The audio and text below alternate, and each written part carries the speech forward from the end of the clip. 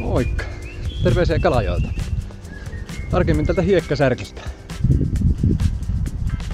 Niin se vaan takatalvi pitää kiinni talvesta, vaikka ensi kuukauden jälkeen on jo kesäkuu.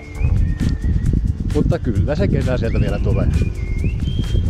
Huomattiin, että Visit Kalajoen YouTube-kanavalla on jo yli 200 tilaajaa. Päätettiin, että leikataan pikku kooste siitä, mitä tämän talven aikana oikein täällä Kalajoella tapahtukaan. Vielä vajaa 800 tilaajaa puuttuu, että päästään kesällä melomaan maakallaan. Mikä on tuolla päin 18 kilometrin päässä.